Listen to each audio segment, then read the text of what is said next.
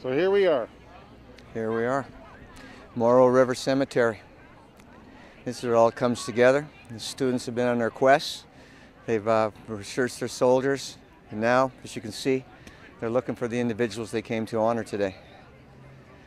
They got up bright and early this morning. They're getting them centered. They got together last night, sat around, went over why they're over here, what the purpose was for, and how important it is for them to be here to honor these gentlemen who gave their lives back that time 65 years ago. Why is that important as a teacher to get that message across to these kids?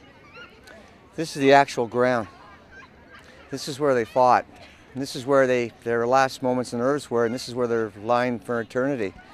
And they have to know this. They have to know what their grandfathers did. They have to know what Canadians did. They had to know the sacrifice that they did at that point in time in order to try ensure other people's freedoms that we take for granted today. And it has to be known that the freedoms that they have was paid for, and was paid for in, by the blood of these men who are now buried here. Didn't have a chance to raise families, didn't have a chance to see the children grow, didn't have a chance to see their grandchildren, didn't have a chance to uh, participate in Canada as we know it today because they're here. And we have to know that. We have to, we have to remember what they did. You think these kids will be affected emotionally by what they're seeing? Certainly, they, they will be emotional about it.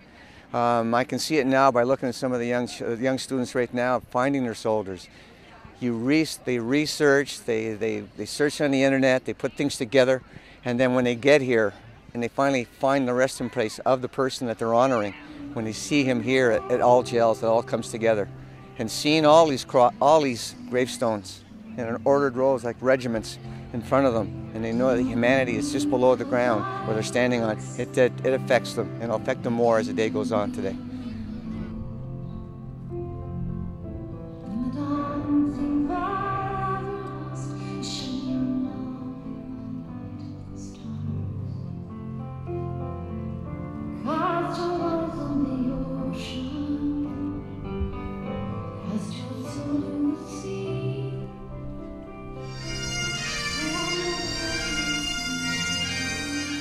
How do you feel about today and the ceremonies that went on?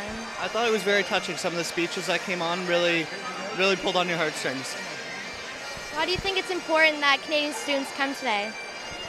Pay the respects, honestly.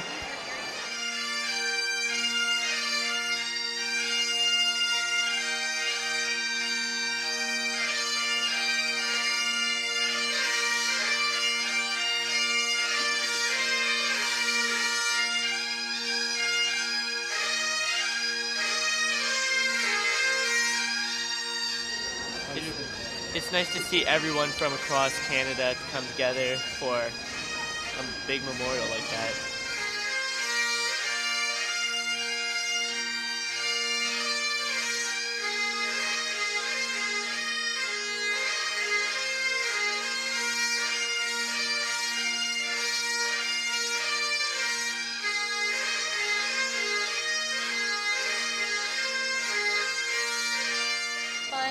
Yeah. Got to meet new people. Everybody came together. It was a lot of fun. We got to mingle with all the different schools from all over Canada. It was really cool. It, and it made us feel really, really proud Yeah. of where we're from.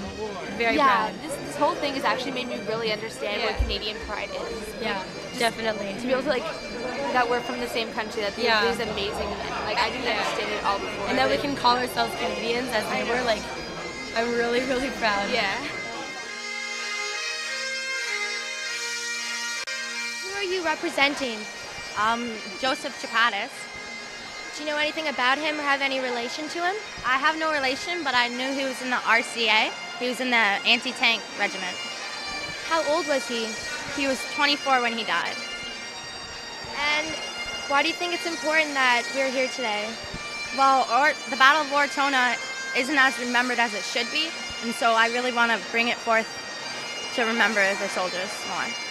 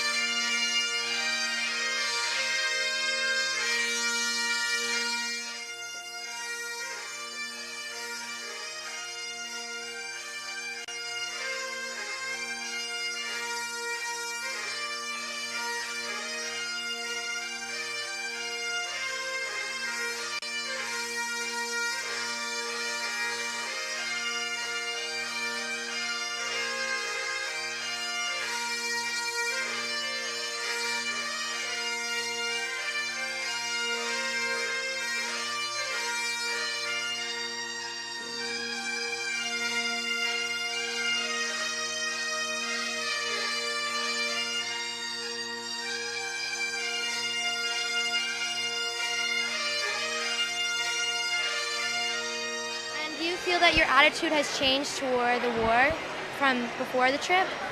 Yeah, I've, I've, I've gotten a lot more respect for these soldiers now too, and it it kind of it hit me in the heart because I just when you read the tombstones too, you see like from father and from a mother and from a son, like you realize that these people were people. They're not just numbers. It wasn't 300 like 50,000 soldiers. It was men and women of Canada fighting, and it really it hits you pretty deep.